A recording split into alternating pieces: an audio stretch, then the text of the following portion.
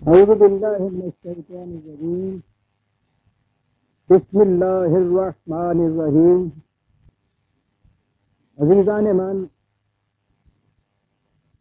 आज दिसंबर 1971 की 26 तारीख है। और से कुरान करीम का आगाज़ सूरह अल अनआम की आयत 122 से होता है। Six over one two two हमारा आखिरी दर्श 28 नवंबर को हुआ था और उसके बाद जंग के पैदा करदा हालात की वजह से दर्श का सिलसिला मुलतवी हो गया। बिल्ला अलहमद के हम इस काबिल हैं कि आज उसे फिर शुरू करें। तजदीद याददाश्त के लिए अर्ज़ कर दूँ। कि मौजू कलाम हलाल और हराम के मुतलक चला आ रहा था। खाने पीने की चीज़ों में कुरान करीम ने पहले तो ये बता दिया कि ये चार चीज़ें हराम हैं। लाम खनजीर मुर्दार, बहता हुआ लहू और हर वो शय जिसे खुदा के अलावा किसी और के नाम के साथ मंसूब कर दिया जाए। अब ये जो हलाल हुई चीज़ें, उन हलाल में से एक चीज़ तो पहले ही कह दी कि जिसे खुदा के अलावा किसी और की तरफ़ मंसूब कर दिया जाए। मसलन बकरा हलाल है, लेकिन अगर इसे मंसूब कर दिया आपने किसी पीर की तरफ़, किसी मजार की तरफ़ किसी की न्याज दे दी खुदा के अलावा। आराम हो गया। अब ऐसा भी नहीं उसे किया, अब सवाल पैदा हो गया गोश्त खाने के मुतलक और मेन डाइट जिसे आप कहते हैं, ये गोश्त की होता है। उसमें फिर एक तफ्तीश कर दी थी कि फकलू मिम्मा जुके रसमल्ला उसे खाओ जिस पर खुदा का नाम लिया गया हो। ये हलाल और हराम की तमीज आज हमारे दौर में तो ये तमीज ही उठ गई हुई है। इसलिए इसका एहसास भी रफ्ता रफ्ता कम होता जा रहा है। और फिर ये सवाल भी आम होते चले जाते हैं कि साहब इसकी तोजी कुछ बयान कीजिए कि ये क्यों हराम है और ये क्यों नहीं, क्यों ममनू है। इसका एक तो बड़ा गहरा नफ्सियाती असर है। खाने पीने का मामला ऐसा है कि दिन में बार बार ये चीज़ सामने आती है। और जब भी कोई चीज़ आपके सामने आए और आपके दिल से ये ख्याल उभरे कि ये उन शराइ के मुताबिक है या नहीं कि जो खुदा ने मुकर की हैं तो आपने देखा कि आपके जहन में बार बार ये चीज़ उभरी। कि मुझे ज़िंदगी उन शराय तो हदूद और कयूद के मुताबिक बसर करनी है जो खुदा ने मुकर की बात तो खाने पीने की थी, लेकिन हर मुख में से पहले आपके जहन में ये ख्याल उभर आया कि मैंने ज़िंदगी न तो बिला शराय तो हदूद बसर करनी है और ना ही किसी गैर अल्लाह की मुकर की हुई हदूद के मुताबिक बसर करनी है। ना अपनी ख्वाहिशात के मुताबिक बसर करनी है। बहुत जी चाहता है मेरा एक चीज़ खाने को जिसके मुतलक खुदा ने यह कह दिया है कि नहीं, ये हराम है। अब मैं उस पर हाथ नहीं डाल सकता। मैं उसे चख भी नहीं सकता। तो एक तो इसकी तजदीद होती जाती है हर आन, हर लुकमे के साथ कि ज़िंदगी मुझे एक हदूद के अंदर बसर करनी वो ना मेरी मुकर करदा है, न किसी और इंसान की मुकर करदा है। गैर मुतबदल है, खुदा की मुकर करदा है। तो ज़ाहिर है कि तजदीद याददाश्त तो इस लुकमे के ऊपर हुई, लेकिन ये हदूद कयूद और ये शराइ जो हैं, ये तो ज़िंदगी के हर गोशे में उसने मुकर की हुई हैं। तो इस याद दहानी से बशर्ते के वाकई ये दिल के अंदर से उठे मैकेनिकल ना हो गई हो, मैं अभी अर्ज़ करूँगा। तो आप देखेंगे कि दिन में हर सांस के साथ ये ख्याल उभरता आएगा कि मुझे ज़िंदगी कुछ हदूद हैं जिनके अंदर रहते हुए बसर करनी है। बेबाक और सरकश सैलाब की तरह बसर नहीं कर दी साहिलों के अंदर घिरे हुए दरिया और नहरों की तरह मुझे बसर करनी है। हर आन हर चीज़ के खाने पीने के वक्त यह ख्याल उभरता है। ये नफ्सियाती असर है। एक तमदनी असर भी इसका है कि हलाल और हराम की तमीज से हर फर्द अपने आप को एक ग्रोह के साथ बिलोंगिंग की सेंस जिसे कहते हैं कि मैं इस ग्रोह से मुतलक हूँ, मैं इस जमात से मुतलक हूँ, मैं इस उम्मत से मुतलक हूँ। ये ख्याल भी दिल के अंदर पैदा होता है। एक तमदनी रिश्ता होता है इस चीज़ से। दो इंसान चले जा रहे हों, सफ़र कर रहे हों बजाहर लिबास में, गुफ्तगु में, कोई फ़र्क नज़र ना आता हो। खाने के वक्त मेज पे अगर कोई चीज़ आ गई है आपके सामने कि जो आपके यहाँ हराम है, उसके यहाँ हलाल है, फ़ौरन तमीज हो जाएगी कि आप उसके ग्रोह को बिलोंग नहीं करते, आप किसी दूसरी जमात के फ़र्ज़ ये जो एहसास बार बार आता है खाने पीने में ये चीज़ें हैं उसके अंदर पिन्हा लेकिन ये तो कुरान है। उसने कहा कि ये ठीक है। आपने ये भी देख लिया कि साहब वो तनवीर नहीं है, मुर्गा है। और उसके बाद आपने ये भी देख लिया कि उसको अल्लाह का नाम लेकर जबा किया गया है।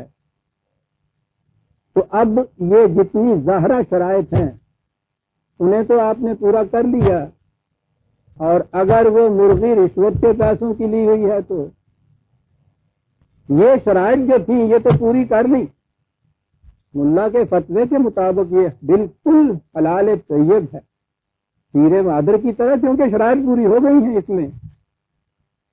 ये जो अगली बात थी, जो मैंने कहा कि ये कुरान है, जो ही उसने पहले जो हुक्म दिया कि ये शराय पूरी करो, उसके बाद कहा वजरू ज़ाहिर इसमें बात ना हुई इसके जवाहिर से भी बचो, इतना ही नहीं है, इसके बातन से भी बचो। हराम ज़ाहिर से भी बचो तो खिंजीर ना हो, हलाल जानवर हो, जबा किया हो, खुदा के नाम पे जबा किया हो, ज़ाहिर है उसके बाद ये चीज़ है कि जो चीज़ तुम्हारे सामने है, हलाल की कमाई की होनी चाहिए। अब आपने देखा कि जब दीन मज़हब में बदल जाता है तो सारी चीज़ मैकेनिकल होकर रह जाती है। उस तबके को तो छोड़ दीजिए। तो जिसने सिरे से अब इन इम्तियाजात ही को मिटाना छोड़ दिया। उसने कहा, ये पुराने जमाने की बातें हैं। महजब दुनिया के अंदर ये चीज़ें अब नहीं चलती। महजब से मुराद होता है यूरोप और अमरीका। तो वो कहते हैं कि साहब, ये सुअर का गोश्त जो है, इसमें क्या हर्ज है? बिल्कुल साफ़ सुथरा होता है, हेल्दी होता है। तो सारे दलाल जो वहाँ दिए जाते हैं, वो तो एहसास वहाँ छोड़ दीजिए जिनके दिल में ये भी बाकी ना रहा। उस तबके को लीजिए जो बड़ा मुतशद है इस मामले के अंदर। कि हाँ साहब उसे पाक करने के लिए तीन मरतबा पानी बहाओ, तीन मरतबा उस पर कलमा पढ़ो। ये हराम है, वो हराम ही नहीं, वो इसमें और ज़्यादा आगे चलते हैं। हराम है, ये मकरू है मकरू है तहरीमी है मकरू है तंजीही है, या अल्लाह। यानी मसाइल के एतबार से तो यहाँ तक जा रहे हैं। इसका कतन ख्याल नहीं है कि ये मुर्गी जिससे इस तरह से शराय को पूरा करके छुरी चलाई गई है, जायज़ कमाई की है या हराम कमाई की है, इससे वास्ता नहीं।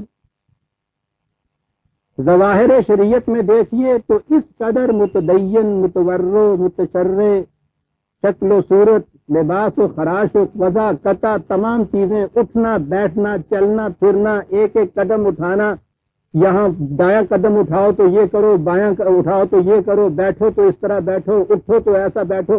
जैसे एक एक सांस शरीयत की हदूद में गुजर रहा है और उसके बाद जब देखिए, मस्जिद की इमामत के अंदर कोठियाँ बन रही हैं, कारें मिल रही हैं, टेलीफोन लग रहे हैं। तो साहब, इसमें कौन सी चीज़ आराम की है? ये जवाहिर शरीयत था जो मैकेनिकल होकर रह गया। इन खतूत और हदूद को देख लीजिए, पूरा होता है, वह बातें न हुई। और उधर आपके यहाँ अरबाब तरीकत आए। उन्होंने कहा कि साहब, असल में तो ताल्लुक बिल्ला बातन से है असल में। ये जवाहिर की चीज़ें जितनी भी हैं, ये दुनियादारों की हैं साहब। इसलिए बमाय सब ज़्यादा रंगी कुन गरत पीरे मुगा गोयद कोई बात नहीं है। नमाज़ के मुसल्ले को शराब के खून में डबो दे अगर पीरे मुगा कहता है कि सालिक, बेखबर न जराहो रस्म मंजिल है।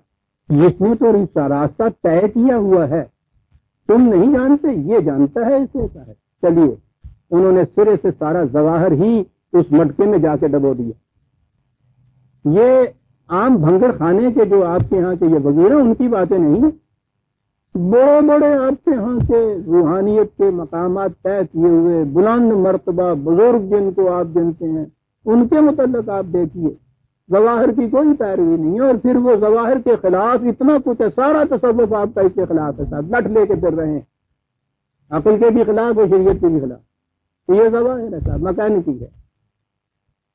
देखिए कि चार लफ्जों में क्या क्या किया है कुरान। वजारुल ज़ाहिर इसमें व बातिन ये जवाहिर परस जितने थे जिन्होंने इसको बिल्कुल मैकेनिकल बना दिया था, उससे तो कहा कि इसके बातन के ऊपर भी निगाह रखो। हराम के कमाई से खरीदी हुई शय महज तकदीर पड़ने से हलाल नहीं हो जाती। वो बातिन में हराम है। बातन का हराम जवाहिर के हलाल से हलाल नहीं हो जाता। और ये जो आपके यहाँ अहले बातन से, इनसे ये चीज़ कही तो ये गलत चीज़ है कि इसका ताल्लुक बातन ही से है। इसलिए कि ये दीन था।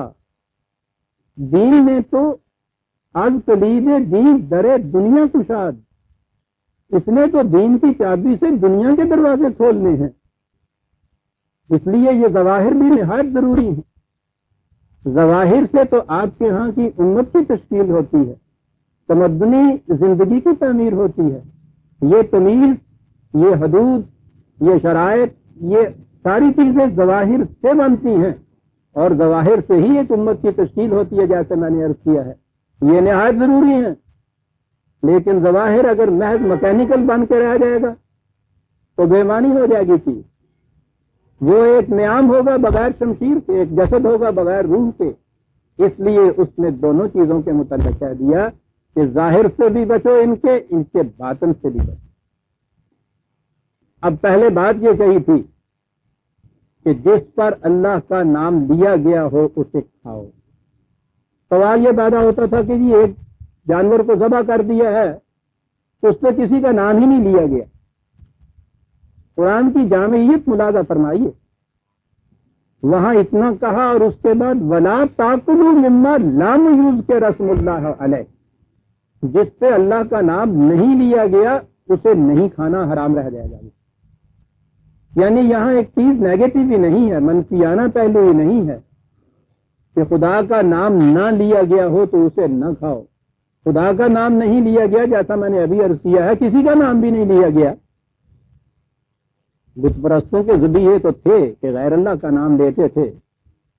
यूरोप के जबीहों पे तो किसी का नाम ही नहीं लिया जाता। तो अब अगर इतनी सी बात ही होती कि जिस पे खुदा का नाम लिया हुआ है वो खाओ जिस पे किसी का भी नाम नहीं लिया गया, दरमियान में ये बात रह जाती।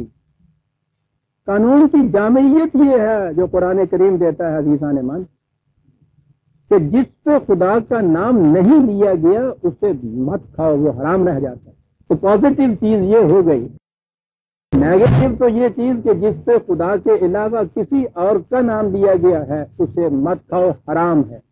और मैंने जैसा अर्ज़ किया है कि नाम लेने के मुराद यहाँ सिर्फ़ जमा करना नहीं है, बल्कि कोई शय जिसे खुदा के अलावा किसी और की तरफ़ मंसूब कर दिया जाए, हराम कतई हो जाती है कुरान की नस्ल शरीफ के लिए।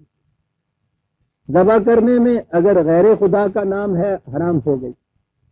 सवाल यह है कि नाम ही किसी का नहीं लिया गया, इस आयत के मातहत वो भी हराम होगी कि नहीं खा सकते तो गोया हराम कतई जो है, उसके बाद बाकी चीज़ें जो हलाल हैं, हलाल में उस पर खुदा का नाम लिया जाए जबा के वक्त तो सिर्फ़ वो हलाल होती है आपके यहाँ। ये हुई, फिर मैं अर्ज़ कर दूँ ज़ाहिर कि मासूस और मरी शक्ल की शक्ल है, ये हिल्लत हरमत की, इसका भी, इसकी एहतियात नहायत ज़रूरी है। इसकी पाबंदी नहायत ज़रूरी है। लेकिन यही मकसूद भी ज़ात नहीं। उसके बाद ये भी चीज़ है कि जिस शय को तुम इस शरायत से मातहत जबा करते हो, खुदा का नाम लेके वो नाजायज कमाई की तो नहीं है? अगर वो हराम हराम कमाई की है तो लाख बार तकबीरें पढ़ने से भी वो हलाल नहीं हो जाती। हमने जाहिरुल इसम की पाबंदी अभी तक गनीमत है, इस कौम के अंदर है। तो जैसा मैंने कहा कि इससे ये ग्रोह बंदी तो कायम रहती है। लेकिन ये बातुल इसम जो है उसकी अब किसी को परवाह नहीं रही। और कुरान ने तो ये वाजह कर दिया है कि सिर्फ़ ज़ाहिर इसम जो है, उसकी पाबंदी से बातिन हलाल नहीं हो जाता। ये हमारी गलत निगही थी कि जिसने हराम को मुख्तलिफ़ शब्दों में इस तरह से फैला दिया कि वो हराम महसूस ही ना हुआ। जिस तरह जी चाहे कमाई कीजिए, उसमें से अगर आपने चालीसवा हिस्सा दे दिया, जक़ात का। तो बाकी माल आपका बिल्कुल हलाल तो ये हो जाता है, ये फतवा दे देते हैं। अरे, ये पूरे की पूरी हराम की कमाई और उसमें से ये तो ठीक है कि हुकूमत का इनकम टैक्स दे दीजिए तो वहाँ उसके बाद तो आज तो गिरफ्त नहीं होती। तो वो इसी टाइप का एक थोड़ा सा इनकम टैक्स आप अल्लाह का दे दीजिए उसमें से तो बाकी कमाई सारी हलाल हो गई आपकी। ये चीज़ें थी कि जिसने जाहरुल इसम के ऊपर तो हमको रखा। बातनुल इसम जो था वो निगाहों से ओझल हुआ। हराम तो हराम रहता है अजीजा ने मन जैसा मैंने अर्ज़ किया है कि जवाहिर की कितनी पाबंदियाँ उनके ऊपर आप क्यों ना कर लें। जब तक वो बातन की पाबंदी भी नहीं आप करते, वो हराम, हलाल नहीं हो जाता। इसलिए भी ये ताकीद की कि ये नहीं है कि जिस पे किसी का भी नाम न लिया गया हो, वो जायज़ हो जाती है, खुदा का नाम लिया गया। और जैसे मैंने अभी अर्ज़ किया है तो खुदा का नाम लेना और हर चीज़ जो सामने आती है, उसके मुतलक हर लुक में और हर खाने के के वक्त ये एहसास कि ये उन शराय को पूरा कर रहा है या नहीं, जो खुदा ने मुकर की हैं। ये याददाश्त जो हर आन होती है अजीजा ने मन साइकोलॉजिकली इसका बड़ा गहरा असर होता है। बशर्ते कि ये कुछ मकैनिकली ना किया जाए। मकैनिकली करने से तो किसी चीज़ का भी असर इंसान के अमाल पे नहीं होता। इरादे का होना नहायत ज़रूरी होता है। मकैनिकली जिसे कहते हैं ना इंस्टिंक्टिवली वो हैवान करते हैं हर चीज़। उसमें इरादा नहीं होता मकैनिकली होता है वो। लेकिन इंसान अगर इस एहसास के मातात जो कुछ खा रहा है, उसके मुतलक पहले ताकीद कर ले कि ये जाहिरुल इसम और बातन की जो शर्त कुरान ने आयद की है, ये उसके मुताबिक हलाल है या नहीं? आप देखिए कि आपका ये माशरा चंद दिनों में क्या से क्या नहीं बन जाता। हलाम और हलाल के मुतलक ये जो इतनी ताकीद कुरान ने की है, बज़ाहिर तो यही नज़र आता है कि ये बात यही छोटी सी बात थी कह देना था कि ये हलाल है, ये हराम है। लेकिन आप देखिए कि इसका असर इंसान की सीरत पर कितना पड़ता है, इसके माशरे और इसके तमदनी ज़िंदगी पर कितना गहरा असर पड़ता है। फिर अर्ज़ कर दूँ, हर शायद जो खाने का लुत्मा आपके सामने आया है, उसमें शर्त है ये देखने की कि जितनी जवाहिर की शायत है वो भी इसने पूरी की है या नहीं और बातन में जिसको उसने हलाल और जायज़ करार दिया है वो भी इसने पूरी की है या नहीं? ये दोनों शराय पूरी होंगी तो वो लुकना आपके लिए हलाल होगा वरना हराम है याद रखिए कुरान के लिए अब ये अलग बात है कि आप हराम को हराम कह के कहिए मैं नहीं इसको करता था तो ठीक ठीक है निकल जाइए इस ग्रोह से इस पाबंदी से इस, इस इन हदूद से। अब ये मुनाफ्त हो जाएगी सर। कि आप ये चाहते भी नहीं है, माले हराम छोड़ना, और नाम भी आपका मुसलमान रखाते। यही तो मकाम था जिसमें उसने कहा ना से नहीं यकूल हो आमन्ना बिल्ला व बिल आखिर। तुम्हें वो लोग मिलेंगे कि जो कहेंगे कि अल्हम्दुलिल्लाह मुसलमान साहब, अल्लाह पे ईमान है, आखरत में ईमान है। वह हम मोमिन इसके बावजूद मोमिन नहीं हो ये कौन है जो ज़ुबान से कहते हैं? कभी इनकार नहीं कर इनकार करने के लिए ज़रूरत की ज़रूरत होती है। उस ग्रोह से निकलना पड़ता है। निक्की बनना होता है, जिसे कहते हैं आप। आपकी, इन, इस ग्रोह में आपकी जमात के अंदर एथिस्ट मौजूद है। खुदा को ना मानने वाले मौजूद हैं। रसूल को ना मानने वाले, वही के ना मानने वाले। लेकिन मरदमशुमारी के रजिस्टर में अपना नाम मुसलमान लिखाए ये फादे अल्लाह वल्लजीन आमन। धोखा देते हैं खुदा को। जमात मोमिन को कहा, किसको धोखा देते हैं? इनके इन्हें धोखा नहीं दे सकते। वह अपने आप को धोखा देते हैं। अजीजा ने मन, सारा माशरा, सारी कौम जो आज मुस्लिम कहलाती है माफ़ रखिएगा मुझे। अपने आप को भी शामिल करता हूँ। वो इसी तरह से है जो अपने आप को धोखा दे रही है। और जो अपने आप को धोखा देगा उसका नतीजा तो फिर बाहर आके रहेगा जो सरसों के बीज को बारूद समझ के अपने पास रखे हुए है, जिस वक्त भी वो बंदूक में पड़ेगा, उस वक्त मता पता चल जाएगा कि क्या हो गया। अपने आप को धोखे में रखे। ज़रूरत होती तो ये कह देते कि नहीं, हम मुसलमान नहीं मुनाफत में ज़रूरत नहीं होती। और ज़रूरत वाला जो है अजीजा ने मन वो तो एक डाकू भी इस मुनाफत से कि जो अपने आप को ये कुछ कहता है बेहतर होता है, वो दन दना के दिल खला के, ललकार कर तो आता है, कह के आता है कि डाका डालने के लिए आ रहा हूँ, जान लेने के लिए तुम्हारे लेकिन ये जो धोखा देते हैं तो ना से फिर देखिए। पहले ही पारे के पहला वर्क उलटते तो ये आयत आ जाती है आपके सामने। ना से मैं यकूल आमन्ना मिल रहा है वो माहूम नहीं।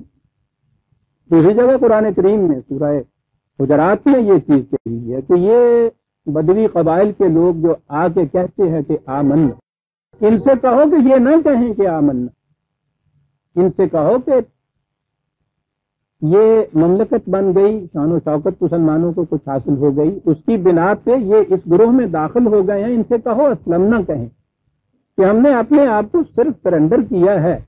अभी उस दर्जे में अपने आप को ना पहुँचाए। हनोज, ये प्रोबेशनल हैं अंडर ट्रेनिंग है। वलम्मा या खुद ईमाना के कलूबे हम इसलिए कि ईमान अभी इनके दिल की गहराइयों में नहीं उतरा। ये अजीजा ने मन शायरी नहीं कुरान कर रहा कि इनसे कहो, अभी ना कहें कि हम ईमान ले आए। ये धोखा हो जाएगा। अगर इसी स्टेज के ऊपर इन्होंने अपने आप को समझ लिया कि हम मोमिन हो गए तो जब ये समझ लिया हो गए तो फिर तो कुछ करने की ज़रूरत नहीं रहेगी। कहा कि नहीं, इनसे कहो अभी ना कहें। ये जो अंडर ट्रेनिंग होता है कैडेट काकूल में दो साल के लिए, वो लेफ्टिनेंट और वो कैप्टन नहीं अपने आप को कह सकते। ये कह सकने का धोखा बहुत बड़ा है। और इस कह सकने के धोखे ने ही हमको मार दिया था। हमने अपने आप को मोमिन करार दे दिया और कुरान ने जितने वादे मोमिन से किए हुए थे, समझ लिया कि हम उनके मौरदर मुस्तक हो गए।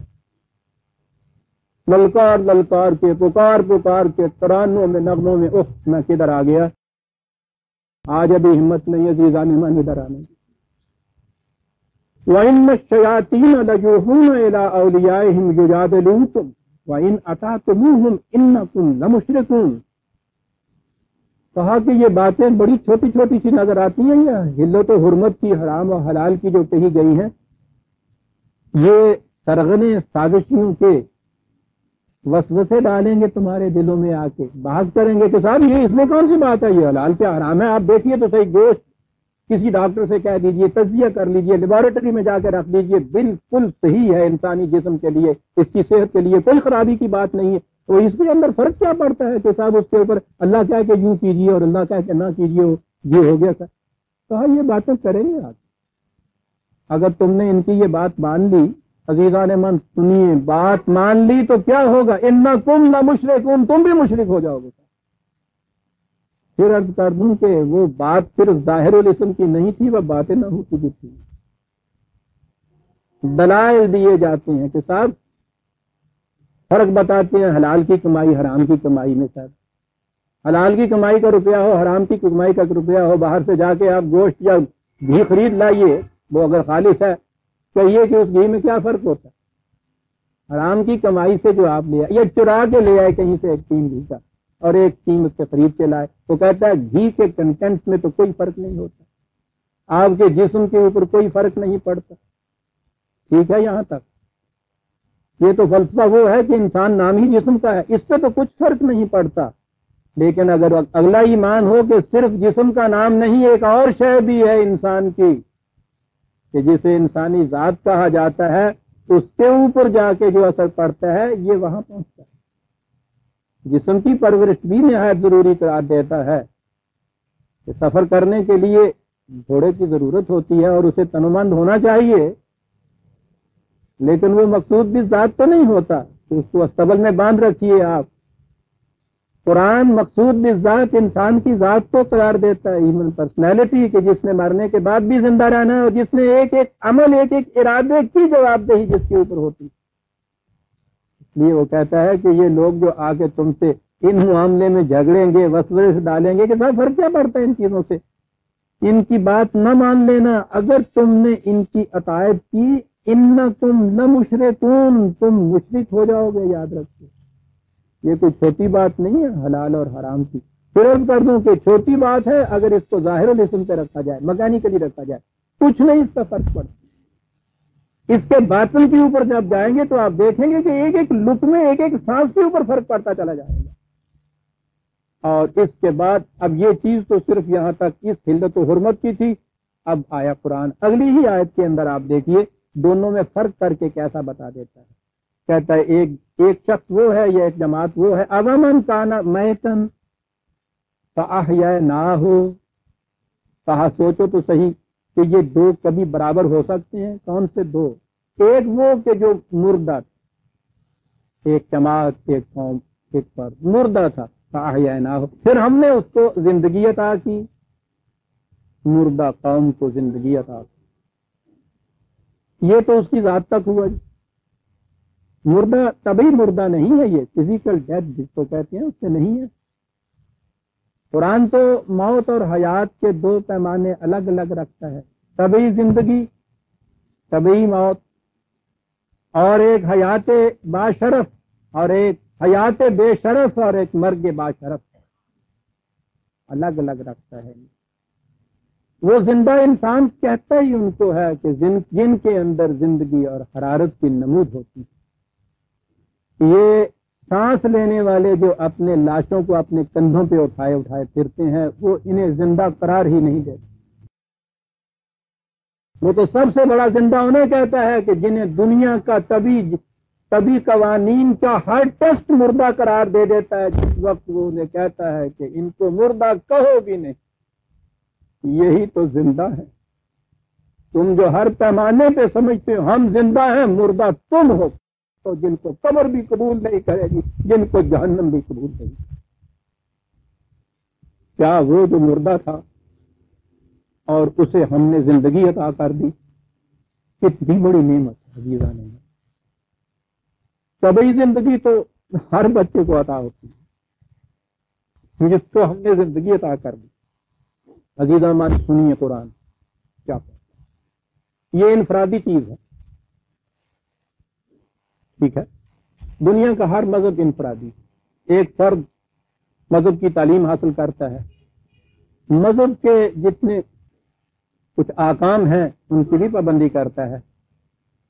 मज़हब ये कहता है कि ठीक है, तुझे नजात मिल जाएगी, तू मज़हब परस्त हो गया है, इतना ही फरीजा है तुम्हारा। दीन में ये फरीजा इंफरादी नहीं रहता।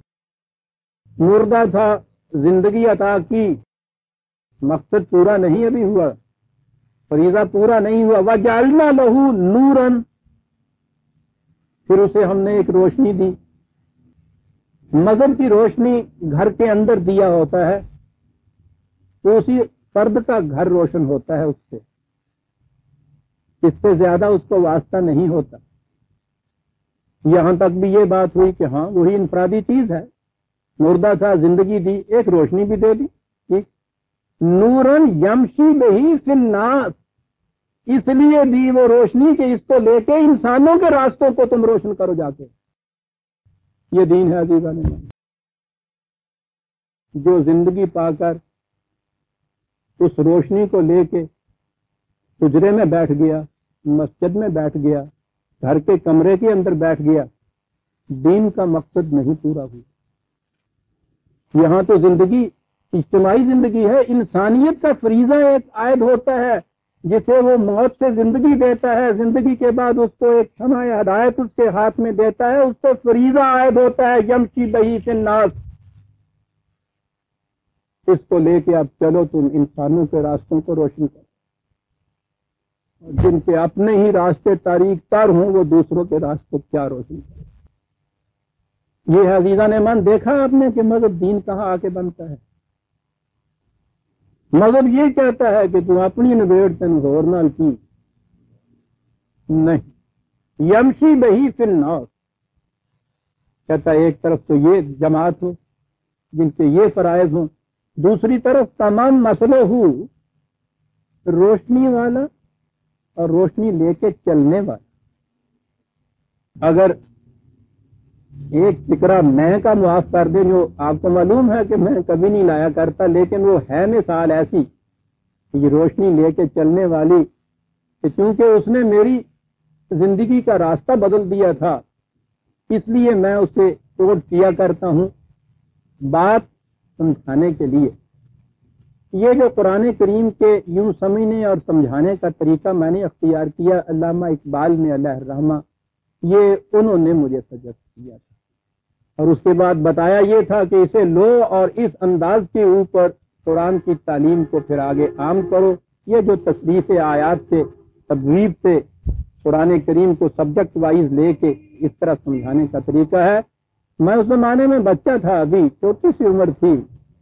इलम भी वही मस्जिद का इलम था हनोज। तबीयत में तसवुफ की वजह से एक पैदा करदा इनकसारी भी थी। तो मैंने उन्हें ये लिख दिया कि आपने ये क्या फरमा दिया? मैं, मेरी बसात क्या, मेरा इल्म क्या, मेरी वसत क्या? और ये इतना बड़ा फरीजा कि कुरान करीम की, खालिश कुरान की उन्होंने, खालिश कुरान की तालीम को उनके अल्फाज में मुहावरा अरब और तशरीफ़ आयात के मुताबिक इसको समझूं और इसके बाद फिर इस तालीम को आम करूँ। ये इतना बड़ा फरीजा मैं इसे किस तरह से अदा कर सकता हूँ? तो उसी खत के किनारे पे उन्होंने लिख के दे दिया था। अफसोस, वो खतूत नहीं है जाया हो गया। उन्होंने लिखा था कि तुम्हारी दिक्कत ये है कि तुम्हारे पास एक छोटा सा दिया है। ये कड़वे तेल से जलने वाला जो दिया होता था। अगली नस्ल हमारे तो शायद समझ ही ना सके कि वो दीवा भी है तो वो उस जमाने में तो वही होते थे कि तुम्हारे पास एक दिया है शबे तीरा उतार है। एक वसी अरीस सहरा लको दक जिसमें रोशनी का निशान नहीं। तुम उस दिए की तरफ़ देखते हो कि इतना छोटी सी लौ वाला दिया। फिर तुम उन तारीखियों को देखते हो कि इतनी दूर और दराज की तारीखियाँ। किस तरह से ये रोशनी यहाँ तक फैल जाएगी? तो उन्होंने लिखा कि ये खदशा उस वक्त तक है जब तक तुम इस दिए को लेके खड़े हो। इस दिए को हाथ में लेके चलते चले जाओ, सारे रास्ते रोशने हो रोशन होते चले जाओ। वो अजीब टीचर था साहेब वो शख्स, अजीब मौलम था वो। यूँ निगाहों का रुख बदल देता। चलते जाओ इस दिए के लिए। मत घबराओ, इसकी रोशनी तीन कदम तक जाती है।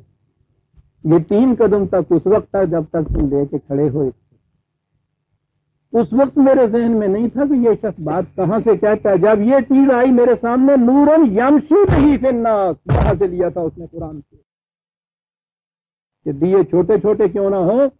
चलते जाओ इंसानियत की राहों में, सारे रास्ते रोशन होते चले जाएँगे। ये फरीजा था इस काम का। मुर्दा थी, ज़िंदगी अता हुई। ज़िंदा हुआ तो एक रोशनी हाथ में मिली। रोशनी मिली तो अपना ही सहन जो था, उसको रोशन करने के लिए नहीं मिली। इसको लेके चलते जाओ। चलना था ये, ताकि इंसानियत की राहें रोशन हो जाए। कहा एक तरफ़ ये कौम हो, और दूसरी तरफ़ तमाम मसले हो फिजुलमात दूसरी तरफ़ वो हो कि जो तारीखियों में हो हो सकता है। बाई चांस इतफाक से, नामसादत हालात से, तारीखी के अंदर कोई घिर सकती है, कोई कौम, कोई फर्द। कहता तारीखियों में हो, वह लैसा बे खारिज में रहा उससे निकलना भी ना चाहे। फिर क्या हो जाता है? फिर वो चमगादड़ हो जाता है। रोशनी से उसको बैर हो जाता है। आफ्ताब का वो दुश्मन होता है। वो दुआएँ माँगता है कि अल्लाह सहर हो ही ना, सूरज चढ़े ही नहीं। इसलिए कि उसकी आँखों को रोशनी बुरी लगती है। लैसा बे खारिज में इतना ही नहीं कहा कि फिजुलमात हो। फिजुलमात में तो हो सकता है। तारीखियों में हो और उससे निकलना ही ना चाहे। अरबी जानने वाले आज़ाद यहाँ कहेंगे वर्द नहीं आया बेखारे जिन आया है, फ़ाइल का सीखा है। इसमें बड़ा फ़र्क हुआ कर। वो निकलने वाला बनना ही ना चाहे। वही रहे। कोई अंधेरे में भी कभी खुश रहता है। कहा कि उसके बाद कैफियत ये हो जाया करती है। चमगादड़ की अभी मैंने मिसाल दी है नज़र। वो अंधेरे में खुश रहता है, रोशनी दुश्मन होती है उसकी। कजाले का जुयन काफिरी नमा कानू या मलून यूँ इन लोगों को जो सदाकत का इनकार करते हैं, उनके अमाल मुजयन होकर उनको नज़र आने लग जाते हैं। उनको तारीखी सबसे बेहतर नेमत बन के नज़र आने लग जाती है। कहा कि ये दो ग्रोह कभी भी बराबर हो सकते हैं। जिनको सारे माशरे में फैला हुआ हराम हलाल बन के नज़र आने लग जाए, जो इन तारीखियों से निकलना ही ना चाहे। कहीं से आवाज़ अगर इसकी उठ आती है तो वो चाहे कि गला ढूंढ दे उसका आवाज़ देने वाले का। ये वो है कि जिनको सबसे बड़ी तबाह कुन बात किसी कौम के लिए अजीजा ने मन वो है कि उसकी बुराई, उसको भलाई बनकर दिखाई दे।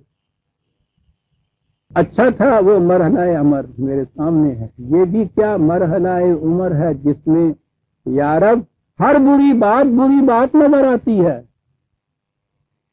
बड़ी खुश बख्ती है उस कौम की अजीजा ने मन जिसको पहले बुरी बात बुरी बात नज़र आने लग जाए। नज़र आने लग जाए। नज़र कैसे आती है? अंधेरे में तो कुछ नहीं नज़र आता।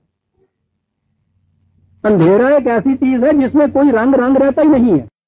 कभी गौर किया आपने? सात रंग होते हैं, मुख्तलिफ़ रंग होते हैं। तारीखी में कोई रंग रंग ही नहीं रहता।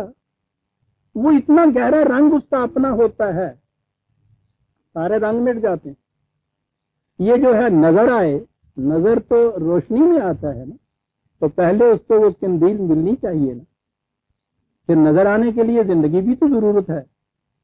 मुर्दे के सरहाने दिया जलाते हो तो वो तो ये कब्रों के दिए होते हैं। बाहर जो ज़िंदा है, उसको तो नज़र आता है, वो जो नीचे मुर्दा होता है, उनकी नज़र आता नहीं नज़र आता मुर्दा हो, ज़िंदगी मिले। ज़िंदगी मिले, दिया मिले। दिया मिले ताकि हर बुरी और बड़ी बात जो है, उसमें तमीज हो सके। तमीज अपनी बात तक महदूद न रखे वही नाज फिर उसको लेके चले इंसानियत के अंदर। कहा कि ये दोनों कभी बराबर हो सकते नहीं हो ये तारीखियों के अंदर खुश रहने वाले और जिनको अपनी हर अमल, हर हरकत जो है, वो मुजयन नज़र आती है। वह कजाले का जालना की कुल्ले करियतिन अकाबेरा मुजरे मीहा ले यम तो रोकीहा यूँ होती है कौमें तबाह कि उनके यहाँ के एक तो आम मुजरिम होते हैं, एक अकाबरे मुजरमीन होते मुजरिमों के सरगने बड़े बड़े मुजरिम तब कौमें तबाह ये होती हैं कि ये बड़े बड़े मुजरिम जो हैं, वो जुर्म करते हैं, साजिशों के ज़रिए से जुर्म करते हैं लयम करो फीहा। ललकार के जुर्म करने वाला जो आता है, उससे आप बच सकते हैं। क्या कहूँ कि क्या आयतें आती हैं? लाख कहता हूँ कि मैं नहीं आना चाहता वो आयतें तो मुझे मार मार कर ले आती अकाबर मुजरमीहा। और ये अकाबर करते क्या है? यम करो भी मुजरम तो अकाबर है। बस्ती ये हौसले की यह कैफियत है कि जो जुर्म करते हैं, ललकार के नहीं करते हैं। साजिश के ज़रिए से। और फिर अपने अमाल मुजयन बन के उनको दिखाई देते हैं। लैसा बेखारिज मिन निकलना नहीं चाहते। कजाले का जानना थी कुल्ले करियतिन अकाबेरा मुजरे मीहा। ले और सुनिए अजीजा ने मन चीखें निकल जाती। वमा यमकुरून इल्ला बयान हुसैन के खिलाफ साज अपने खिलाफ साजिश करते। वमा यशोरून। समझते नहीं। माँ ये शरून पहली चीज़ ये अकलो शूर के दिए तो गुल हो जाते हैं, जुलमात तो उस वक्त ही आती है। ये चराग गुल हो जाते हैं। जिस तरह से ये तभी शराब से इंसान के तभी हवास जो हैं, वो गुम होते हैं। ये जो साजिशों की इस किस्म की काबर मुजरे लिहा की शराब होती है, वो फ़िक्र शूर की अंदरूनी सलाहियतों भी खत्म कर देती है। उसके बाद फ़र्ज़ नहीं पूछता कौन पूछती है? दुनिया पूछती है कि बिलाखिर इसे इससे हासिल क्या था? कोई इसका जवाब नहीं अजीजा ने मन दे सकता। उसको पूछिए, वो भी जवाब नहीं दे सकता कि मुझे इससे मिला क्या है जो मैंने किया है। कोई जवाब नहीं दे सकता। आपने समझा? जवाब क्यों नहीं दे सकता? जवाब उस चीज़ का दिया जा सकता है जो अपने शोर की रूह से की जाती है। वमा या शोरून वमा यम करून इल्ला बेअनफु से ही अपने आप से साक्षी करती है। और साजिश की कैफियत यह है कि उनसे भी पूछो कि ये क्यों किया था तो इसका जवाब नहीं होता, इसलिए कि वमा यशोरून। शराबी से पूछिए, उसका नशा उतरने के बाद। क्यों तू जो है गला करता था प्यो, क्यों करता था पिया? या सिर चुका लेगा सिर, या टप्पड़ मार लेगा, क्यों का जवाब नहीं दे सकता? गया वो किस्सा उसके साथ कमा यशरून तो मशहूर है ना रणजीत सिंह हाथी पे चढ़ा आ रहा था। माना जट अगो आंदा सी प्या शराब पीती हुई। माफ़ रखिएगा। रंजीत सिंह भी पंजाबी ते माना जट भी पंजाबी। गल भी पंजाबी च आती है। कहने लगा ओ काणिया कट्टा बेचना ही। सिपाही आए। ले गए पकड़ के। रात भर हवालात में रखा। सुबह तक वो ठिकाने हो गए, उसने कहा बुला लो। आया सामने। कहने लगा, भाई, तू व्यापारी आ गया सा। कि कल सानू पुछदा सा पिया कि वो कट्टा बेचना है ही तो बेचना है दस खरीदना ही। कहने लगा यो व्यापारी तो कल ही लट गए लट गए व्यापारी जो कट्टा खरीदना से आए आगे इतने माना जाती है सामने तो। फिर वो माना जाती रह जाता वमा यशरून वमा यमकरून इल्ला बेअनफुसिहिम है कि अगर असागर मुजरमीन हो तो उनके ये साजिशें और मकर ज़्यादा से ज़्यादा उनकी जात को नुकसान पहुंचाएँगे। उनकी पार्टी को नुकसान पहुँचा देंगी। अकाबर मुजरमीन की जो पहली साजिशें होती हैं, वो तो कौमों को ले डूबती हैं। मकर तो अपनी जाति के खिलाफ करते हैं। उनके नुकसान अजीजा ने मन कहाँ तक पहुँचा देते ये वो नुकसान है जिसके मुतलक कुरान करीम ने सूर्य आराफ में यह कहा हुआ है कि तो ये वो लोग थे जिन्होंने कुफरान नेमत किया हाँ कहा है कि तुमने उसको भी देखा कि जिसने हमारी नेमतों का कुफरान किया और उसके बाद है, वो पारा मेरे सामने नहीं सुआया रात किया था और उसके बाद है कहा, सुनिए अजीजा ने, मन क्या कहा, कुरान ने जिगर हो जाता है कि इसने हमारी नेमतों का कुफरान किया और काम को उस मंडी में ले गया कि जिसमें इस जिन से कासर का कोई खरीदार नहीं है। दारुल बमार है। उसने हमारी नियमतों का कुफरान किया। व अहिल्लू कौम हम दारुल बवाद उसने हमारी नियमतों का कुफरान किया और कौम को उस मंडी में ले गया, जहाँ इस जिन से कासद का कोई खरीदार जहन्नम। जहन्नुम में ले गया। वह बेसल कितनी बुरी जलील जगह है कौन को उस मंडी में जा उतारा इसमें। उर्दू का लफ्ज है जहाँ ये सौदागर, ये काफले वारे जो लाते हैं सामान जहाँ रस्सियाँ खोल देते हैं, ऊँटों की बैठा देते हैं जिनको उतार देते हैं मंडी में, उस मंडी में काम को ले गया जहाँ इस जिनसे तासर का कोई खरीदा अकाबर मुजरमीहा। वमा यम करून इल्ला बयान तो वमा यशरून। हाँ। कहा इनके तकबर का फिर ये आलम हो जाता है? बढ़ना चाहिए अजीजा ने मान। सही रोना, आज का नहीं, ये रोना तो अब उम्र भर का। ये रोना तो अब आइंदा, आने वाली नस्लों तक का हो। और मेरा रोना नहीं, रोना यह है, सारे गुलिस्तान। कहा इनके तकबर का ये आलम होता है कि ये आम चीज़ों के तो मालिक बनी बैठते हैं, उस मकाम में बुलंद के ऊपर अपने आप को समझते हैं। कोई दूसरा इसमें शरीक नहीं होता। हत्या कि इनकी कैफियत ये हो जाती है कि वज़ा जात हम आयतन कालू लन नो में ना हत्या नू का मिसला माऊती और इनको अगर खुदा का पैगाम भी आके कोई रसूल देता है। तो वो कहता है कि नहीं, हम तुम कहते हो तुम्हारी तरफ़ खुदा का कोई चीज़ ही आती है, ये नहीं हम मानते थे। खुदा हमारी तरफ़ बराए रास्त हुक्म भेजे। फिर मानेंगे नाश समाता है जेनों में तो ये मकाम आता है। उसने कुछ कहना है, अगर हमसे तो हमें बराए रास्त वही भेजे हमारी। अपने से बाहर रसूल की बात भी नहीं मानने के लिए तैयार। अपने आप को खुद फरेबी में ऐसी सलाहियतों का मालिक समझने लग जाते हैं कि अल्लाह आलम, है सो या जालो रिसालत ठीक है, ये तभी चीज़ें तो तुम छीन झपट के ले सकते हो, इनके मालिक तो बन सकते हो। कम अज कम एक चीज़ तो ऐसी रहने दो हमारे लिए, खुदा कहता है कि जिसे हम ही दे, कोई और ना दे सके, और वो रसालत है। इसे तो हम तक रहने दो। तुम कहते हो कि, रसूल भी हम ही होने के मुस्तक उसे चाहिए कि जबरील को हमारे पास भेजिए क्या अंदाज है बात कहने का? अजीजा ने मन सबके होने को जी चाहता है। इस मुसन्फ के ऊपर अल्लाह आलम है तो या जालो ठीक है तभी ज़िंदगी की चीज़ें तो एक डाकू भी ले जा सकता है हलाकू भी सल्तनत ले जा सकता है। ये सब चीज़ें ले जा सकता है। लेकिन कम वक्त कम अज कम एक चीज़ तो हमारे पास रहने और वो रखी हुई है हमने अपनी। वो किसी को कस्ब हुनत से नहीं मिल रसालत तो हमारी इससे तुम नहीं छीन सकते। और यही मकाम है अजीजा ने मान, जहाँ फिर बचने की कोई उम्मीद नज़र आती है कि रसालत इनके हाथ में नहीं।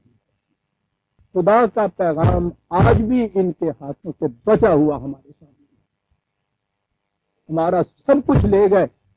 अल्लाह का एहसान है कि उसकी रसालत को हमसे के नहीं किया वो आज भी मौजूद ज़रूरत सिंह से अमर है कि ये काम फिर उसकी रसालत पे ईमान ले जाए किसी तरह से। अजीजा ने मान, इसे ये कोई भी छीन के ले जा सकता। किसी को ये हासिल नहीं हो सकती। उसकी है, उसने इसको महफूज रखा हुआ है। सब कुछ तुम्हारा छिन जाए, फिर रसालत की तरफ़ आ जाओ, फिर सब कुछ मिल जाएगा। इस रसालत ने एक दफ़ा आपको ये कुछ दिया था। चप्पा भर ज़मीन नहीं थी आप लोगों के पास। उस कौम के पास जिसमें रसूल आया था, ज़मीन अपने पास होना तो एक तरफ़ रहा, अपने घर बार से निकाले गए थे। दूसरों के यहाँ जाके पना ली थी। इससे ज़्यादा बेकार की बेकसी और बेबसी का तो आलम किसी कौम पे नहीं आ सकता। कि घर बार भी ना रहे उनका। महाजर सिर्फ़ घर बार ही को तर्क करने वाला नहीं होता। ये तो वो होता है जो सब चीज़ तर्क कर चुका अब जिस कैफियत में ये काम कही थी, इनके पास क्या था? कुछ नहीं था तभी ज़िंदगी का। कुछ नहीं था उन चीज़ों का जो तभी तौर पे हासिल होती हैं। इनके पास सिर्फ़ रसालत थी। इस रसालत को इन्होंने संभाल लिया। और फिर कोई दूर की बात नहीं थी। अफसाना नहीं है, महज अकीदतमंदी नहीं है। तारीख का अटल तो हमारे सामने है। उसी रसूल की ज़िंदगी में कम अज कम दस लाख मुरबा मील की मालिक को ये काम हो गई थी, जिनका एक घर भी अपना नहीं कर सकते थे। ये रकबे का छोटा हो जाना, कुछ बात नहीं है अभी। रसालत थी इनके और फिर रसालत के माने भी शख्सियत नहीं थी। यहाँ भी हमें उसने ये बता दिया। जब इसमें से रसूल गया है, हजूर की वफात के ऊपर जो कोहराम मचा है, तारीख हमें बताती है। तो उस वक्त जो सबसे करीब तर था रसूल, वो उठा था और उसने मेंबर पे खड़े हो जाके कहा था अबू बकर सदीक में तो चोरों ने तुमने शुरू कर दी वो माँ मोहम्मद रसूल, कद खलत में कबले रसूल। रसालत नहीं है रसूल। मोहम्मद इससे ज़्यादा कुछ नहीं थे कि एक रसूल थे। रसालत को लाने वाले थे। चिट्ठी तुम्हें डिलीवर कर दी, चिट्ठी रसाल चला गया। किस चीज़ की कमी वाकई हुई है। क्या बात। इससे पहले भी रसूल आए, पैगाम दे के चले जाते कद खलत में कबले है। अफाइम माता कोतलन कलब तुम्हारा तो क्या कल को अगर ये खुदा कह रहा है ये खुदा ही ने कहा था तो अजीजा ने मन हमने बर्दाश्त कर लिया कोई और कहता इस रसूल के मतलब तो हम शायद बर्दाश्त न करें। कहा, बड़ी अजीम बात कह दी है कि शख्सियतों के दौर खत्म हो गए। शख्सियतें आनी जानी होती हैं। क्या कल को अगर ये मर जाए या कत्ल कर दिया जाए तो तुम कहोगे कि बस सब मामला इसकी रात तक था, वो गया, हमारा मामला चला गया, फिर पलट जाओगे अपनी। उस साहेब गार और साहेब कबर ने नंबर से खड़े होकर ये कहा, ये आयत पड़ी हज़रत अबा बकर सिद्दीक ने, और उसके बाद कहा कि सुन लो कि जो मोहम्मद की अबूदियत अख्तियार किए हुए था, वो रोए आज के उसका महबूद मर गया है।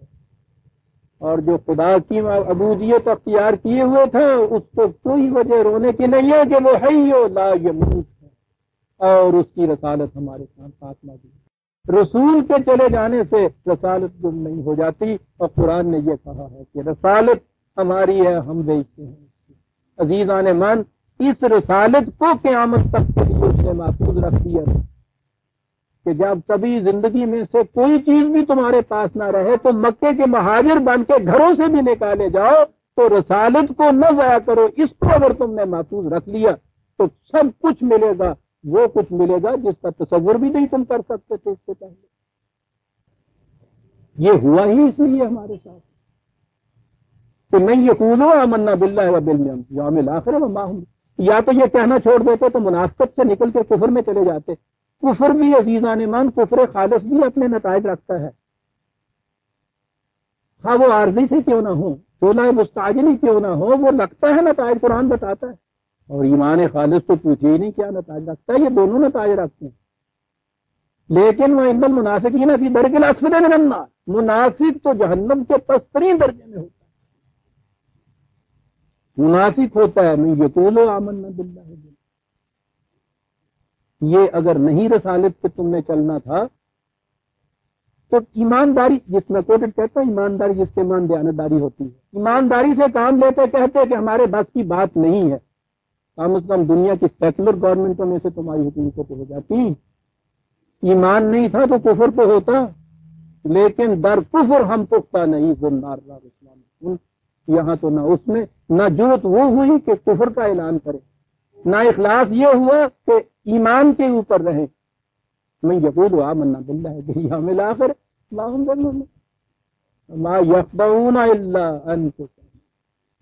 अल्लाह आलम है तो यजालो रसालत।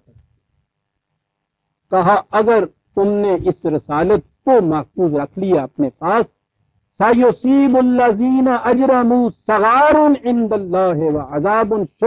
बिमा कानू यमकुरून।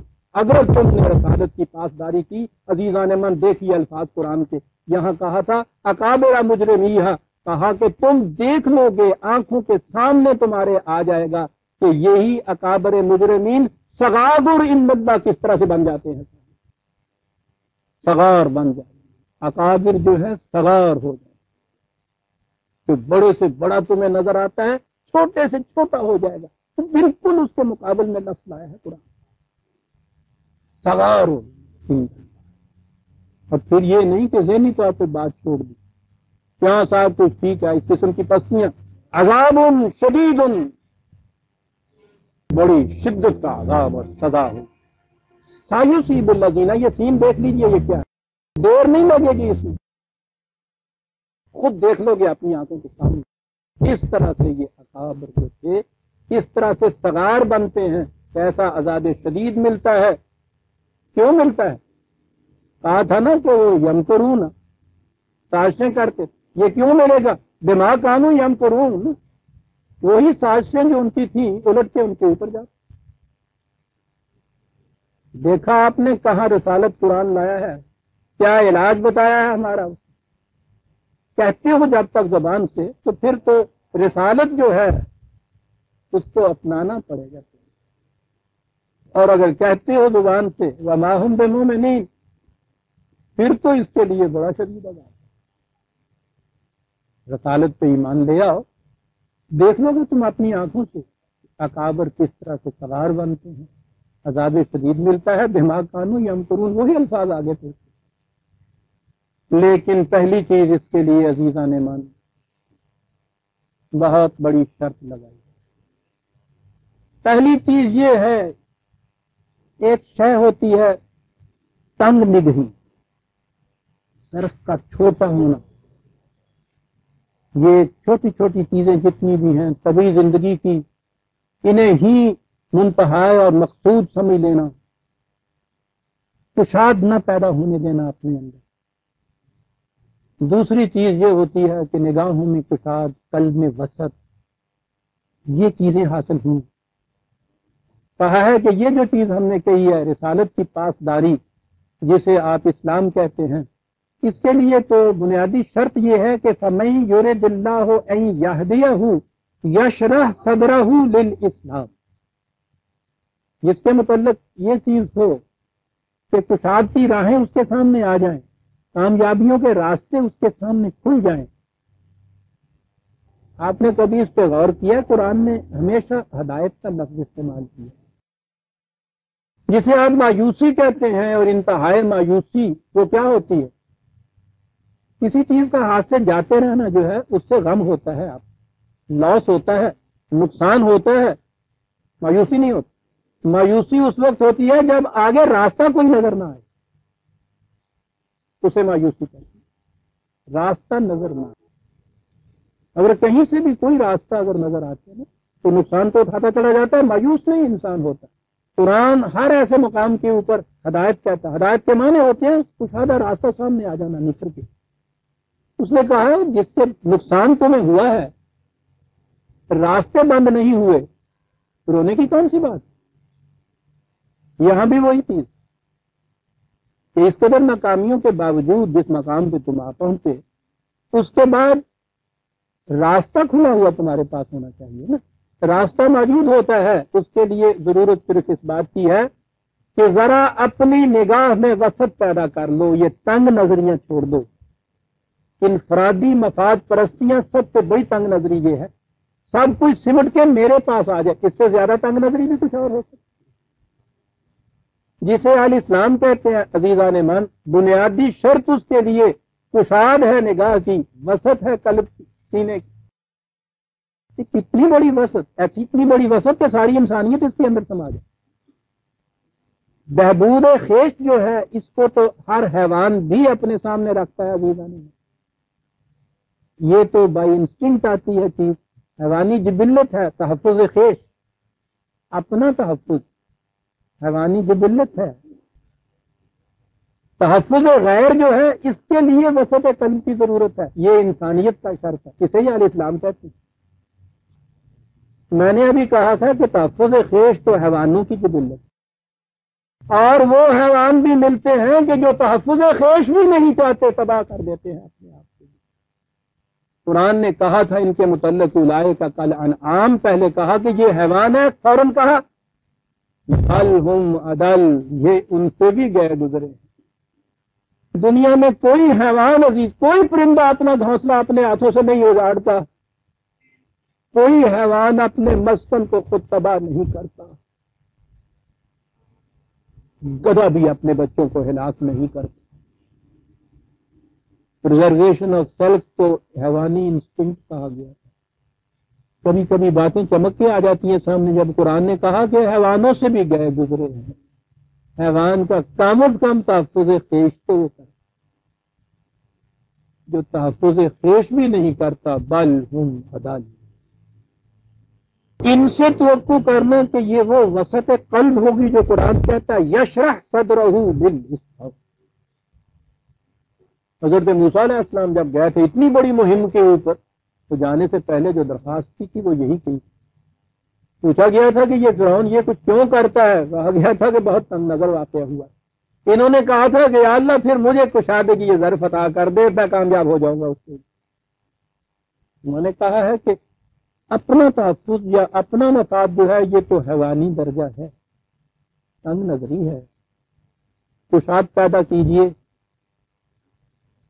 इंसानियत का मफाद सामने रखिए और फिर उसके बाद देखिए कि कोई तंग नज़र आपको नाकाम नहीं बना।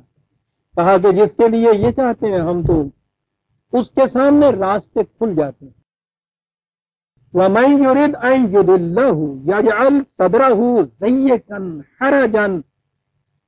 और उसके मुकाबले में गलत रास्ते के ऊपर चलने वाले। ये जो तर्जमे लफ्जी आप इसमें देखेंगे ना कि जिनके मुतलक हम ये चाहते हैं, जिनके मुतलक हम ये करते हैं, उनके सामने रास्ते खोल देते हैं। तो ये चीज़ें इन तर्जुमों से मैंने कहा था ना, बार बार मैं कहता चला आ रहा हूँ कि बड़ी गलत चीज़ जेन के अंदर आती है। तो अब मुझे हर अपनी इन, हर आयत के ऊपर ये तशरी करने की ज़रूरत नहीं रही। मैंने अर्ज़ किया था कि वो किताब तकदीर में मैंने ये सब कुछ लिख किया है। इसके माने क्या? अभी एक और बात अर्ज़ करूँगा। गलत रास्ते के ऊपर चलने वाले की कैफियत सुनिए क्या होती है हालत तंग नज़र, घटा हुआ तंग सीना। अंगार ज़मीन पे चलता है, महसूस ऐसा होता है, जैसे पहाड़ की घाटी चढ़ रहा है। सांस पूरी हुई, दम उखड़ा हुआ। कैफियत उसकी ये होती अंग नजरे की और सीने की तंगी की कैफियत ये है कि सांस जैसी चीज़ जिसका एहसास भी इंसान को कभी नहीं होता, सांस आप समझ सोच के नहीं लेते, ये खुद ही आता चला जाता है। लेकिन घाटी पे चढ़ने वाले के मुतलक देखिए कि वो सांस कैसे लेता है। या मरज से जिसका सीना तंग हो जाता है, जिसे हम दमा कहते हैं, उसे देखिए वो सांस कैसे लेता है। तो कहता है, ये जो घुटन पैदा हो जाती है निगाहों के अंदर, ये जो अपनी ही जात के मफाद जो है, वहाँ तक निगाह रहती है, उससे जरा भी आगे नहीं जाती। ये समझिए कि सीने में उसकी सांस भी उसको कुशाद से नहीं एक एक सांस के ऊपर यूँ नज़र आता है कि अब मौत आई व, अब मौत आई। दूसरी जगह वो कहता है कि ये वो है कि चारों तरफ़ से मौत आती नज़र आती है वह माहूम मैतिन लेकिन कम वक्त मरते भी तो नहीं। ये है वो तंग नजरी। कजाले का यजारिजसाजीन में जो इन सदाकतों पे ईमान नहीं रखता और ज़ुबान से कहता रहता है कि हम आमन्ना बिल्ला बिलिया कहता है, इस इस तरह से उसके ऊपर हम रिजिस डाल देते हैं। ये लफ्ज यही है। तर्जमा आपका देखेंगे तो नापाकी तर्जमा इसका आ जाएगा सात दिन ही नहीं समझ में आती क्या चीज़ रिजिस एक तो साफ मुकत्तर पानी होता है ऐसा पानी होता है कि जिसमें आप खड़े हो तो नीचे तक सुई भी नजर आ जाती है आपको गिरी हुई और उस मुकत्तर पानी में जब उसी पानी के नीचे जो गदलापन होता है जो कीचड़ होता है ਉਹਨੂੰ ਅਗਰ ਘਟੋਲਦੇ ਹੋ ਉਹਦੇ ਵਿੱਚ ਵਾਪਸ ਰੱਖੀਏਗਾ ਤੁਸੀਂ ਦੱਸਦੇ ਉਰਦੂ ਕੀ ਕਹਿੰਦੇ ਨੇ ਐਵੇਂ ਕੀਤਾ ਹਫੀਜ਼ ਸਾਹਿਬ ਮੇਰੇ ਸਾਹਮਣੇ ਉਸਤਾਦ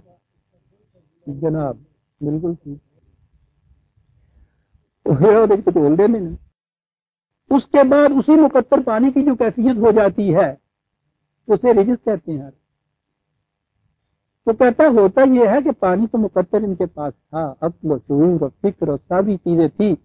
इनके पस्त जज्बात ने कुचोला कुचोल देता था। हम साफ़ चीज़ों में ना नज़र नहीं आऊँगी क्या क्या जाता है? जब भी तो मैंने कहा कि मंतक के ज़रिए से जवाब नहीं मिलता कि ये क्यों किया साहब उनका जवाब तो आधे मुकद्दर में से मिलता है ना। ये जो रिज है, मैंने कहा था ना कि इसके माने ये है, मैं खुद नहीं कहता, कुरान ने दूसरे मुकाम को कहा वजह रिज सा अल्लाह हम रिजिस डाल देते हैं उन लोगों के ऊपर, ला या लायाकिलून जो अकल फ़िक्र से काम नहीं लेते तो जोड़े के जोड़े जान, कोई बात साफ़ नज़र नहीं फिर उनको आती। टेन ओवर हंड्रेड की दूसरी आयत तरह टेन ओवर हंड्रेड अकल मारिया मत्ता मारिया जानिया अकल भी कोई चीज़ नहीं होंगी मत बड़ी अजीब चीज़ है। मत्ता मारिया जाती ने यानी यूँ ही जरा किनारे पे खड़ा हुआ भी आदमी ये कहता हूँ इसे ये कुछ भी नज़र नहीं आता। एक ले मैन भी ये फिर उसके बाद पुकारता है। और ये कि ये तो हम भी समझ रहे थे कि ये कुछ गलत होता है। और इन्हें ये कुछ भी नहीं समझ में आया। दीदा ने मन सारी काम पुकारने लग जाती है। तो इतना कुछ भी क्यों नहीं समझ में आया? इसलिए नहीं समझ में आया कि अपने जाति तंग नजरी जज्बात में कचोला कचोल देता है। कहा यह था इनके ऊपर हो गया हुआ, वरना रास्ते तो गुम नहीं हो गए थे। हाजा से रहे तो रब्बे का मुस्तकीम हो तो सामने पे है। कद फ़सल नल आयात कौमी करो इस तरह निखार निखार के हम बातें समझाते, बताते जाते हैं, लाते जाते हैं। लेकिन ये तो उस कौम के लिए है कि जो इन चीज़ों को अपने सामने रखे। वरना कितनी ही तफसील से बयान हुई, की हुई चीज़ कितनी ही निखरी, उभरी हुई चीज़ क्यों ना हो, जो उसे अपने सामने ही नहीं रखता, उसको उससे फ़ायदा क्या होगा? और फिर यक करून है यहाँ तक। ये जानते अरबी वाले, हर वक्त निगाह के सामने रखे। हर वक्त निगाह के सामने हो। इस मकाम के ऊपर मुझे किधर जाना है, किधर जाना है? हवाई जहाज़ से वाले से पूछा करो पायलट से कि उसको ये ज़िक्र कितना ज़्यादा शिद्दत से करना पड़ता है। वो तो एक सेकंड में तीन तीन मील की रफ्तार से चलता है और उसको जो रुख अपने बदलने होते हैं मकाम का तयन करना होता है, किस तरफ़ जाना होता है, हर वक्त चार्ट उसकी निगाहों के सामने रहता है। एक सेकंड के लिए भी ओझल निगाह से हम हो तो मीलों किधर का किधर निकल जाता है। साहब, ये है यजकरून जिसे कहते हैं हर जबान हमारे बाद फिर इस ज़िक्र का जो तर्जमा हुआ और फिर उसका जो अमल होता है अल्लाह वाला गिटका वाला, ज़िक्र दे माने हो गए। ये उनको फ़ायदा दे सक। फ़सल नल्ला आया खुली हुई आए। राजे सर बसता नहीं। बातनी इलम नहीं है। फ़सल नल्ला खुली हुई बातें सीखते हैं। वाकई अगर कुछ ओला ना हो, तेरे नालों सीधियाँ खिलियाँ हुई खुलियाँ हुई गल ही कोई नहीं हो रहा गया मान लेकिन ये तो उनके लिए फायदामंद हो सकती हैं जो इस चार्ट को सामने रख के इस पायलटिंग करे इस जहाज़ से। वरना जरा वजल ये हुआ, गया फिर, और फिर जितनी तेज़ी से जहाज़ चलोगे, उतनी तेज़ी से तबाही होगी तुम्हारी सब। ये जो हर वक्त इस चार्ट को सामने रख के इन रास्तों पे चलते हैं, उस दिए को आगे रखते हुए लहोम दार सलामतियाँ इनके लिए। ये तबाहियों से बच सकते हैं वह हुआ वली जो हूँ उस मकाम पे जाके तुम तो अपने का आपको कहते थे कि हम वली अल्लाह हैं। तो कहता है, वो तुम्हारा वली हो जाता सोचिए तो सही। सैया भय कोतवाल, अब डर का है का? कोतवाल अगर किसी का सैया हो जाए तो वो कहता है कि अब डारी कोई नहीं। तो जिसका सैया खुदा हो जाए, खुद अजीफा ने मान ला खौफ वला लहुम दारुसलाम इन दरब वह हुआ वली हूँ मौज हो गई खुदा यार मांग। गया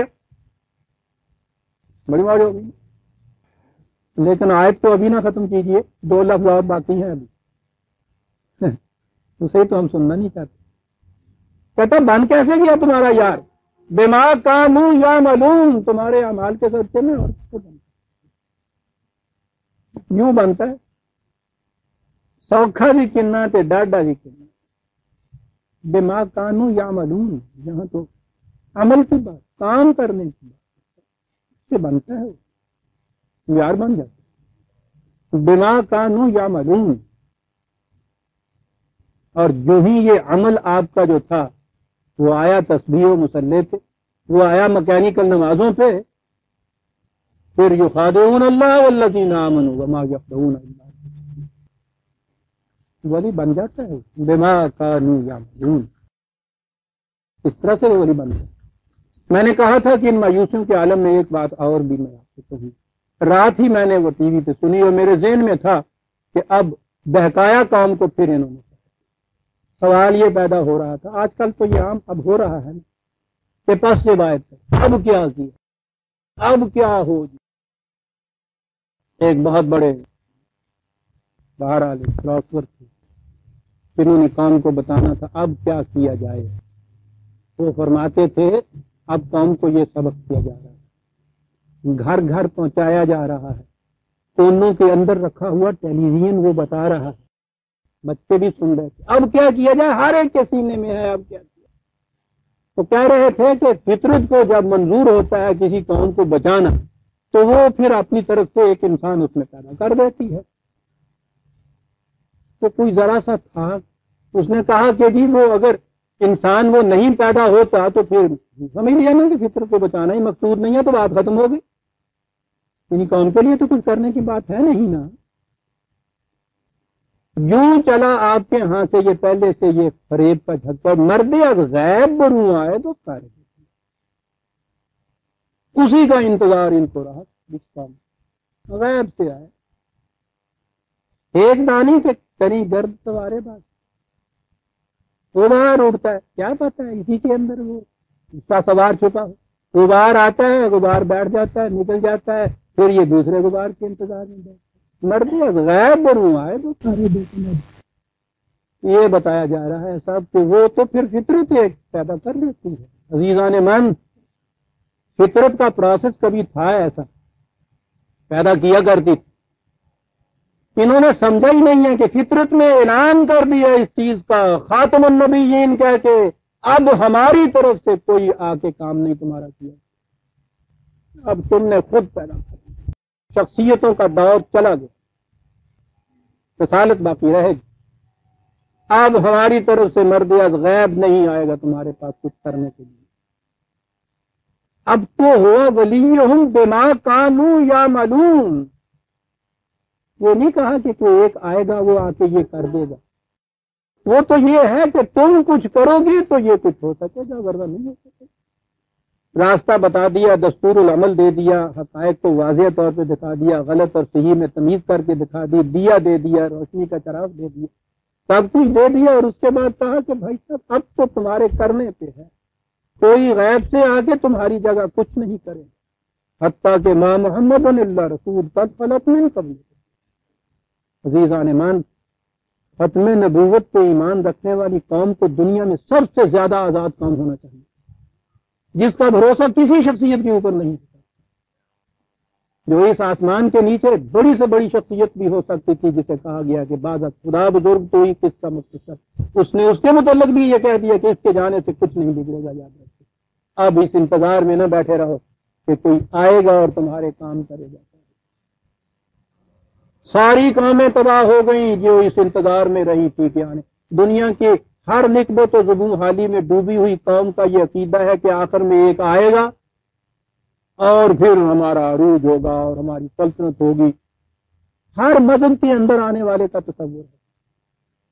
सनातन धर्म में कलंकी उतार आएगा, बुद्धों के अंदर आखिरी मतिया बुद्ध आएगा, ज्ञानियों के अंदर आखिरी ज्ञानी एक आएगा। यहूदियों के अंदर एक आने वाला मसीहा होगा। मसीह आया तो ईसाइयों ने कहा, वो आखिरी जमाने में हज़रत ईसा आएँगे। जरतश्त के अंदर मैत्रा आने वाला है।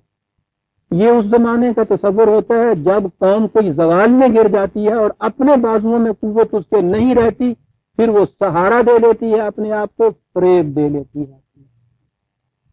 और फिर वो सारे जितने हैं, जैसा मुझे आप पहले भी कभी बताया था, कि वो कहते हैं कि क्यामत से पहले वो आएगा, आने वाला, और इनमें से हारेग, ये कहता है कि फिर हमारा मज़हब उसका फरोग होगा, हमारी कौम जो है उसको फरोग होगा। किसी ने मुझसे पूछा कि ये क्यामत से पहले कहते हैं, मैंने कहा, सोचो तो सही कि हिंदू, बुद्ध, जैनी, यहूदी, ईसाई, मुसलमान, इन सब का वो आने वाला आएगा, वो हर एक चाहेगा कि उसका मज़हब और उसकी कौम जो है, उनको फरोग हासिल हो तो एदू वही क्यामत और की होनी है। वो तो आप ही आ जानी कोई। यानी वो डागो सोटा होंगे आपस और फिर वे तो वे नाल आए हुए होंगे। तो आ गई आप ये दरियादर मान ये है, फरेब दिया जाता है उस वक्त कौम इस फरेब से निकालने के लिए खत्म नबूवत का अजीम ऐलान हुआ। अज़ीज़ आने मान जिस कौम से कहा गया हो कि मोहम्मद के जाने से भी तुम्हारा कुछ नहीं बिगड़ सकता, वो किसी और का इंतज़ार करके बैठ गया। तो हजीजा ने मान हाजा सिरातों का रब का मुस्तकीम। रसालत तुम्हारे यहाँ महफूज है। यही है तुम्हारे रब का सीधा रास्ता। कद फ़सल नल आया आयात कौमी जज्जक करून उस कौम के लिए जो इस चार्ट को सामने रखेगी। पायलटिंग के रास्ते बड़े साफ़ हैं, उसके सामने लहुम दारुसलाम उनके लिए सलामतियों के घर सलामती नेगेटिव चीज़ नहीं होती, याद रखिए अज़ीज़ मन तर्जुमा इसका ये ये अमन और सलामती जो हम कहते हैं ये नहीं है सालमियत है इसके माने यही बार बार कहते थे ना पाकिस्तान की सालमियत यही लफ्ज तो है वो बारहा मुर्गे मुसलम तो आपने सुना ही होगा ਉਹਦੇ ਚੋਂ ਇੱਕ ਟਨ ਕੋਈ ਲੈ ਲੈ ਲਵੇ ਨਿਮਤ ਪਰੇ वाला ला ले तो वापस कर देते हो ना तो ये पूरा नहीं है जब पूरा आता है अजीजा ने मन उसी को अल इस्लाम कहते हैं पूरी की पूरी भरपूर ज़िंदगी जब मिलती है लहम दारुसलाम में इन दरब वह वली हूँ। फिर वो दारुसलाम नहीं होता। वो यार हो जाता है, फिर उनका मददगार हो जाता है। कैसे हो जाता है? गैब से कोई मर्द आके काम नहीं ये कर देता। दिमाग कानू या मलून हाजा सरातों का मुस्तकीम, वो है आपके दिया चरागे राह और तुम्हारा काम जो है, अमल। अमल भी ना कहा करें।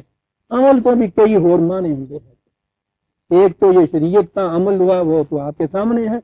एक अमली ही होंगे आगे ने ना, फिर पंजाबी आएगी। बता वीर साहब अमली। हाँ अमल करता जी पग पींदा है, पोस्ट पींदा है, डोडे पींदा इन अमल कहते हैं ना। ये अमले बातन है। लेकिन वो अमले ज़ाहिर हो या ये अमले बातन हो है दोनों का ही खुद फरेबी होता है। बिना काम यामलून। यामलून वो कि जिसके लिए सयुसीबुल्लजीन आजरमू सगारुन। कि वे जो अकाबर बने फिरते हैं फ़ौरन नज़र आ जाए तुम्हें कि ये सगार हो गए हैं तुम्हारे सामने, ये है वो अमल अदीजा ने मन, ये होगा टेस्ट उस अमल का। माफ़ रखिएगा। पंद्रह मिनट बाद में शुरू किया था, इसलिए मैंने पंद्रह मिनट दे लिया तो को नहीं पूछ लिया। शाम की आयत 128 तक हम आ गए जी 129 तक से आइंदा शुरू करेंगे। रब बना तकबुल।